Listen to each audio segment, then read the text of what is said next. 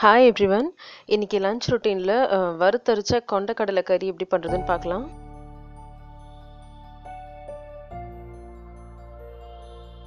அதுக்கு வந்து ஃபஸ்ட்டு நான் ஒரு கப்பு துருவின தேங்காயை வந்து இந்த மாதிரி ஒரு வெறும் பேனில் போட்டு நல்லா வறுத்துக்கிறேன். இதை வந்து நல்லா நீங்கள் ப்ரௌன் ஆகுற வரைக்கும் வறுக்கணும்.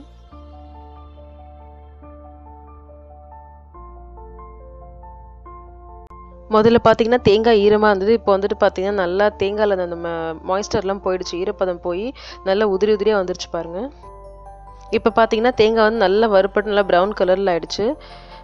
தேங்காய் வந்து தீய வைக்கக்கூடாது. ப்ரௌன் கலரில் வரணும். ஒரு நல்ல வாசனை வரும். அதுலேயே உங்களுக்கு தெரியும் வறுப்பட்டது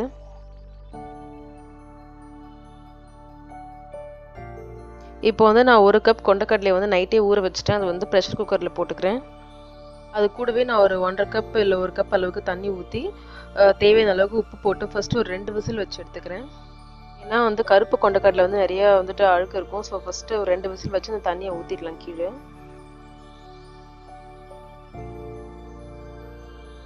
இப்போ ரெண்டு விசில் வந்துருச்சு. நான் இப்போ வந்து இந்த தண்ணியை கீழே ஊற்றிட்டு இதில் வந்துட்டு நான் ஒரு ரெண்டு வெங்காயம் ஒரு தக்காளி வந்து பொடியாக நறுக்கி சேர்த்துக்கிறேன்.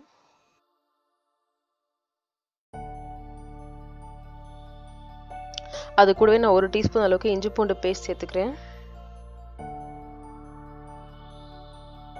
கால் டீஸ்பூன் மஞ்சள் பொடி. அரை டீஸ்பூன் காரப்பொடி. ரெண்டு டீஸ்பூன் அளவுக்கு குழம்பு மிளகாத்தூள். அது உங்ககிட்ட இல்லைனாக்கா நீங்கள் மல்லிப்பொடி சேர்த்துக்கலாம். தேவையான அளவுக்கு உப்பு. எல்லாத்தையும் சேர்த்துட்டு ஒன்றரை கப் அளவுக்கு சுடு தண்ணி ஊற்றி நல்லா மிக்ஸ் பண்ணிவிட்டு திரும்பவும் குக்கர் மூடி போட்டு ஒரு அஞ்சுலேருந்து ஆறு விசில் வரைக்கும் வச்சு எடுத்துக்கலாம்.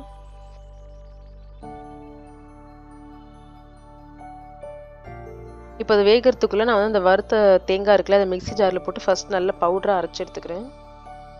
இதை ஃபஸ்ட்டு ப்ளெயினாக அரைச்சதுக்கப்புறமா நான் மறுபடியும் தண்ணி ஊற்றி நல்ல ஸ்மூத் பேஸ்ட்டாக அரைச்சிக்கிறேன்.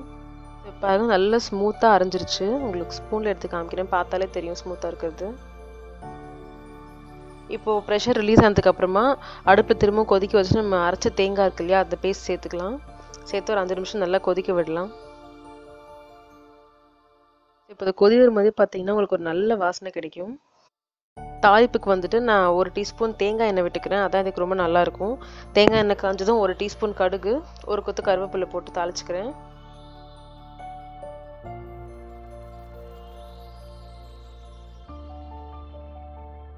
தாளிப்பை வந்துட்டு அப்படியே டேரெக்டாக அந்த குழம்புல ஊற்றி ஒரு வாட்டி கிண்டிட்டு அடுப்பை ஆஃப் பண்ணி அடுப்புலேருந்து இறக்கிடுங்க. ரொம்பவே டேஸ்டியான ஹெல்த்தியான கொண்டக்கடலை கறி ரெடி இது வந்து ரொம்பவே டேஸ்ட்டாக இருக்கும் உங்களுக்கு. அந்த வறுத்து அரைச்ச தேங்காயோட ஃப்ளேவர் ஸோ கண்டிப்பாக ட்ரை பண்ணி பாருங்கள் அடுத்தது வந்து ஒரு கத்திரிக்காய் மசாலா பண்ணிக்கலாம். அதுக்கு நான் ரெண்டு டீஸ்பூன் எண்ணெய் சூடு பண்ணி ஒன்றரை டீஸ்பூன் சோம்பு ரெண்டு சின்ன துண்டு பட்டை ஒரு மூணு கிராம்பு போட்டு தாளிச்சுக்கிறேன்.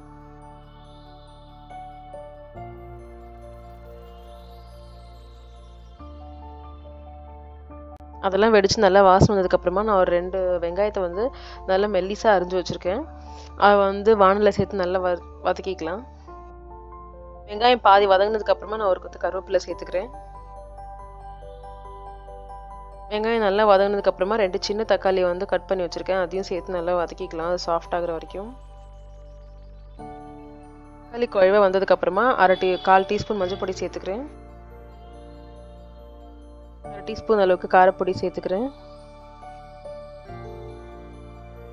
ரெண்டு டீஸ்பூன் அளவுக்கு குழம்பு மிளகாத்தூள் அப்படி இல்லைனாக்கா அது உங்ககிட்ட இல்லைன்னா மல்லிப்பொடி சேர்த்துக்கோங்க. சேர்த்து நல்லா ஒரு வாட்டி கலந்து விட்டுறலாம்.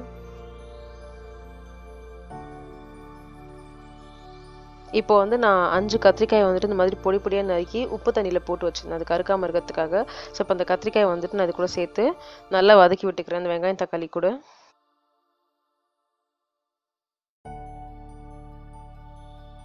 அதை நல்லா வதக்கி விட்டதுக்கப்புறமா நான் ஒரு அரை கப் அளவுக்கு சுடு தண்ணி சேர்த்து ஒரு பத்துலேருந்து பன்னெண்டு நிமிஷம் மூடி போட்டு நல்லா கத்திரிக்காய் வேகிற வரைக்கும் குக் பண்ணி எடுத்துடலாம்.